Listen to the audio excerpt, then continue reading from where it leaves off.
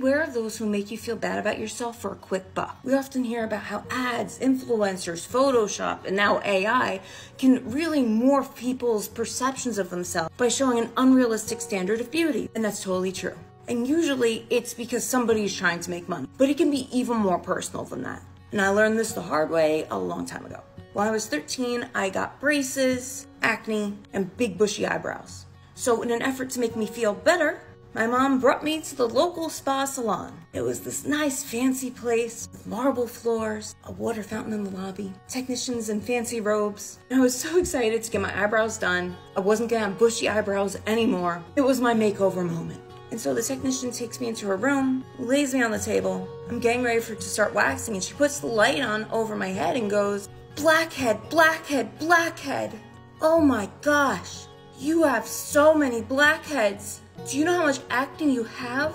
Do you want me to take care of them for you?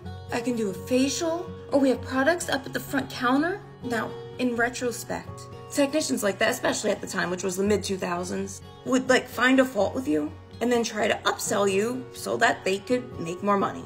It's just how it was. But I didn't know that. And in my head, I thought, oh my gosh, if this professional technician who sees people every day thinks that I am this hideous and that my acne is this bad, I must be gross. And my already low self esteem just plummeted.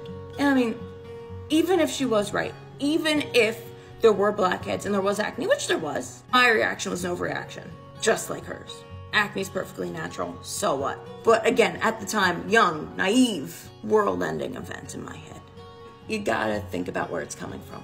What is incentivizing this person, making them say this thing to me? Are they getting something out of it? Whether it's monetary or just their own self esteem kicks. Because it's never personal. And the sooner you realize that, the happier and more confident you'll be.